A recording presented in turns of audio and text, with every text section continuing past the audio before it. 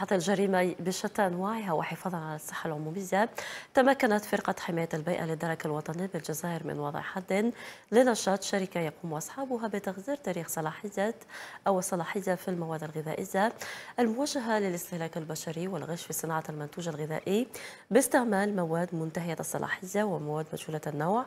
أو المصدر حيث أسفرت العملية عن حجز كمية معتبرة من المواد الغذائية بقيمة أو بقيمة مالية للمحجوزات مليار و 600 سنتيم أين تم تحرير ملف قضائي ضد المتورطين الذين سيتم تقديمهم إلى الجهات القضائية المختصة.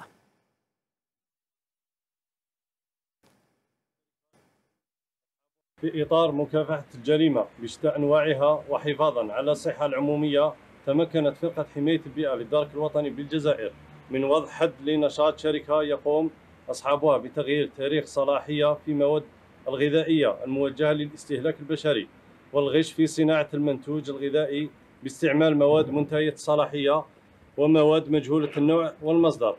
استغلالا للمعلومة تم التنقل نحو مقر الشركة برفقة مصالح مديرية التجارة ومكتب الصحة للبلدية وبعد المراقبة تبين أن الشركة لا تحوز على رخصة الاستغلال كما أن ورشات الإنتاج والمخازن في حالة كارثية من حيث انعدام النظافة الصحية وهذا ما يشكل خطرا على صحة المستهلك. تم تحرير ملف قضائي ضد المتورطين وسيتم تقديمهم إلى الجهات القضائية المختصة عن التهم التالية.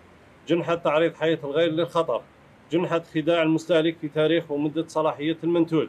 جنحة عرض للبيع منتوج صالح لتغذية الإنسان يعلم أنه مغشوش جنحة استغلال منشأة مصنفة دون الحصول على ترخيص. عدم احترام قواعد النظافة الصحية.